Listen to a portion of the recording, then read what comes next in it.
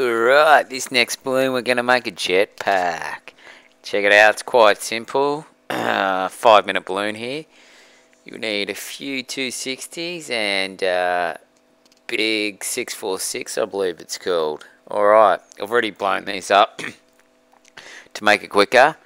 Blow up that 646 nearly the whole way there. Now with the 260 wrap it around like I've done there and pinch twist it like that.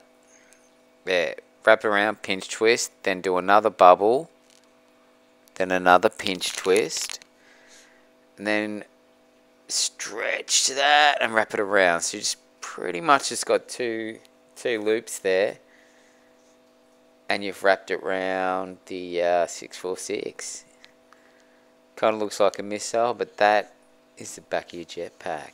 Alright, stretch out your next 260 Obviously, if you're making this for a kid, it's smaller, but I've stretched this, uh, oops, for me, and put it in a figure eight, and wrap it around the bottom, the bottom bubble, bottom pinch twist, like that. Kind of looks like a butterfly, but that, that's, that's the start of your jetpack right there.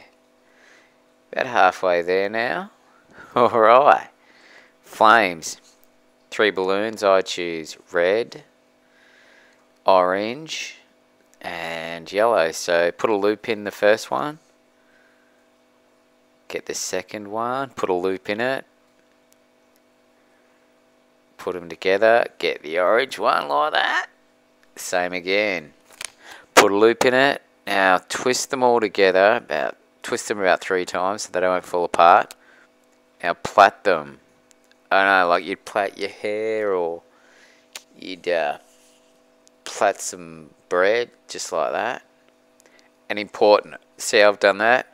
Pull one of them through so they're sort of knotted in there. And just twist them round. This is so they won't won't touch the ground. Flames, flames.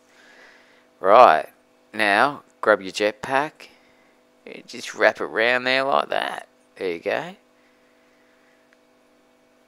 There you go. You got your jetpack. Uh, one more thing. You need the uh, handles. I mean, that's alright as it is, but uh, you like to have the handles so you can hold onto them so it looks like a real jetpack. Twist one there with a pinch twist about, I don't know, four inches stretch that and go all the way to the other end. Do exactly the same. 4 inch bubble pinch twist. Now divide it into two here. Like that. And it goes in the flame. Right in the middle of the flame. Check it out. Right there. Twist that about three times so it doesn't fall off. There we go and now halfway up, just twist them aside. Twist that, bend them so they point inwards. And do the other one. Alright, there you are. Now we've got to put it on. Here, not going to lie, I'm a bit bigger. I mean, when you make these for kids, no worries. Probably could have used a bigger 260 there that I'm holding now, but watch me, here I go. Oh, oh one's on. Uh, All that straight away. Got to find the handles. Grab one. Ah, see? It come undone. Rookie mistake.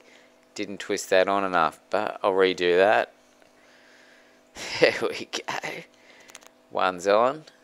Grab grab the handles and stuff. Uh, uh, uh. Can I find it? Can I? Uh. Got it. Got it. I've got it. uh, look, Mum, I'm going to be flying. Alright, got your handles. Check it out. I mean, that's a small one. You can double it up, make two of them to make it bigger with double the flames, but generally it's like a five minute balloon when you're doing line work. And yeah, there you go. Got your jetpack. Thanks for watching.